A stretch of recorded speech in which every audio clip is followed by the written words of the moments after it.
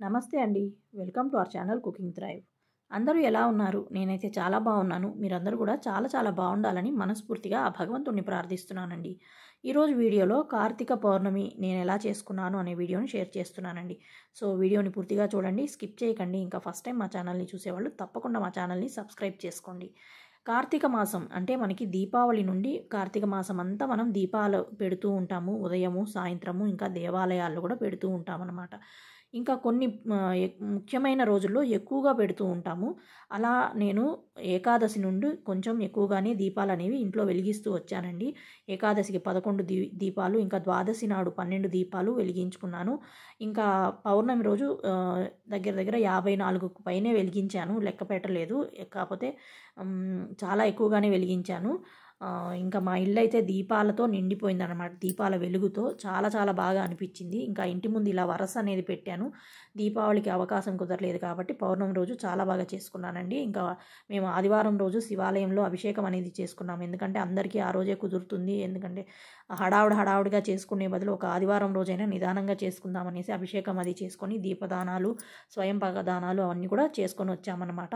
ఇంకా అభిషేకానికి కొంచెం టైం ఉందని దేవాలయంలో చెప్తే నేను పిండి ప్రమిదలు తయారు తయారు చేసుకోవడానికి తీసుకెళ్ళిన పిండితో మా పిల్లలు ఇలా శివలింగం అనేది తయారు చేశారు. పాము పడగ అవన్నీ కూడా రెడీ చేస్తే నేను గంధం కుంకుమలతో అలంకరించానమాట ఈ శివలింగం అనేది ఎలా ఉందో ఎలా అనిపించింది మీకు అనేది చెప్పండి. మా పిల్లలు కొంచెం సంతోషిస్తారు. ఎందుకంటే వాళ్ళు తయారు చేశారు కాబట్టి. ఇంకా ఇలా దీపదానానికి నేను రెడీ చేసుకున్నానండి. అంటే మనం కార్తీక మాసంలో శివలింగ దానం కానీ సాలగ్రామ దానం కానీ చేయొచ్చు. చాలా మంచి ఉత్తమ ఫలితాలు అనేవి మనకు ఉంటాయన్నమాట. అవకాశం లేని వాళ్ళు అవన్నీ కొని ఇవ్వలేని వాళ్ళు ఇలా పిండితో అయినా చేసి దానంగా ఇవ్వచ్చండి. చాలా మంచిది. ఒక సద్బ్రాహ్మణుడికి దానం ఇస్తే చాలా మంచిదన్నమాట. ఇంకా సాయంత్రం నేను దీపాలు వెలిగించుకోవడానికి ఇలా రెడీ చేసుకుంటున్నాను. అంటే ప్రమిదలు రెడీ చేసుకొని పక్కన పెట్టుకున్నాను. అవన్నీ కూడా ముందుగానే పెయింట్లు అవి వేసుకొని పెట్టుకున్నాను. ఇంకా పిండి ప్రమిదల్లో పెట్టడానికి కోసం ఇలా నాకు కొంచెం పిల్లలకి నాకు కొంచెం అప్పుడప్పుడు జలుబు చేయడం వలన అప్పుడప్పుడు కాఫ్ సిల్స్ అవన్నీ తెచ్చుకొని తింటూ ఉన్నాము. అప్పుడు ఇవన్నీ పడేయకుండా నాకు ఒకసారి ఐడియా వచ్చింది. అందుకనేసి అవన్నీ కూడా అలా కలెక్ట్ చేసి పెట్టాను అనమాట క్లీన్ చేసుకొని.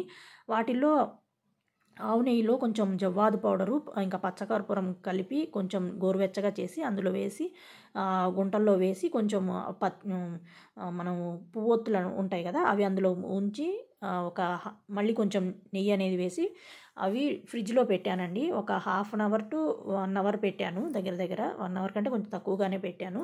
అవన్నీ పెట్టి ఇంకా తర్వాత నేను స్నానం చేసుకొని వచ్చి పిండి ప్రమిదలకు కావాల్సిన పిండి అవన్నీ కలుపుకున్నాను అనమాట ఆ గ్యాప్లో ముగ్గులు అవన్నీ వేసుకొని బయట తులసి కోట దగ్గర అవన్నీ కూడా ఇలా ముగ్గులు అవన్నీ వేసుకొని వచ్చేసరికి ఇలా రెడీ అయి ఉన్నాయి అనమాట ఇంకా పిండి ప్రమిదలు రెడీ చేసుకున్నాను కదా.